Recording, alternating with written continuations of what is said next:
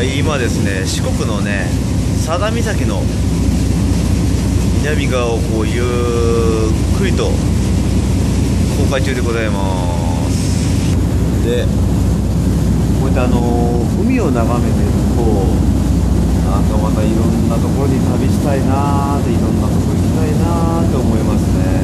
次から次へと。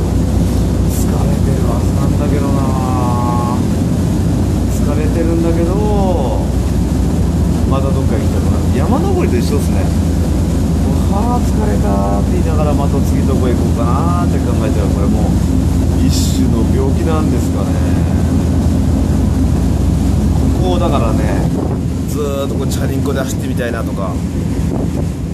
車は移動できる。移動できるけど電車もやった。車も楽しいでも自転車やりたいなー。と徒歩歩き。けど細かいところがやっぱ見れないんですよね。